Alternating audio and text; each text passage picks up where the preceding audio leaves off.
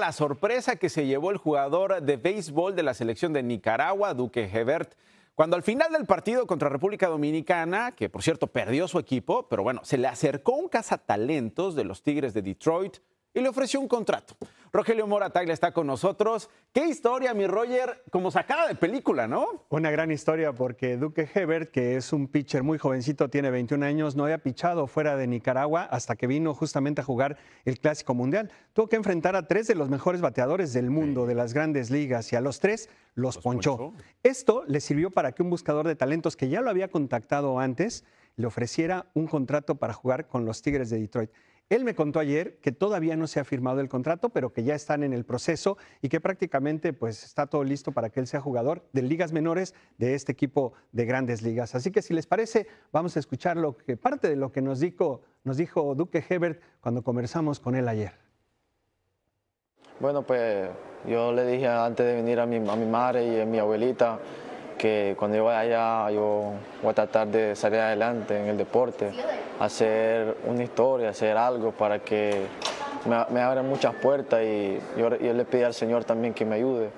No puedo dormir bien, pasé pensando, pasé viendo el video una y otra vez porque no creía lo que había hecho y no pude dormir, pero, pero estoy muy alegre por los logros que he logrado, por tanto sacrificio que he quedado por, por jugar béisbol. Nunca me lo esperé porque son peloteros caracterizados.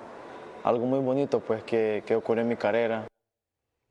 Pues sí, es un chico que viene de una familia humilde. Cuando le hablé de qué va a hacer cuando reciba su primer salario ya como jugador de grandes ligas, me dice que quiere darle una buena vida a su mamá y a su abuelita, sobre todo su abuelita ha sido un baluarte para él y que quiere ayudar a la comunidad. Un muchacho de verdad, Nacho, bastante, bastante sencillo, muy humilde.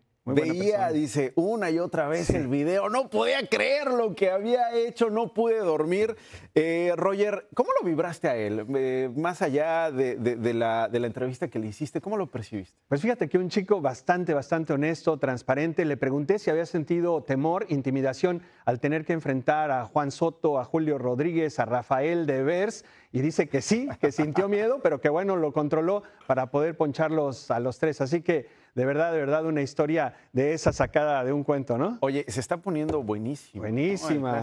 Eh, lo que pasó hoy en la mañana, lo que pasará en las próximas horas. ¿Qué espera Roger? Pues nada, mira, Cuba le ganó a Australia, entonces Cuba está esperando al ganador de Japón e Italia en la llave que se está jugando en Asia. En lo que se está jugando aquí en los Estados Unidos, pues hoy vamos a tener eliminado a uno de los grandes. O se va a Puerto Rico o se va a República Dominicana, porque Venezuela ha estado muy bien y va a calificar prácticamente como primer lugar de su grupo. México, si le gana a Canadá, califica. Y Estados Unidos, si le gana a Colombia, califica. O si Colombia le gana a Estados Unidos, pasa Colombia. Bueno, ya veremos. Roger, Se pone bueno, Qué gusto, muy bueno, de película, hermano. Hasta una historia de película.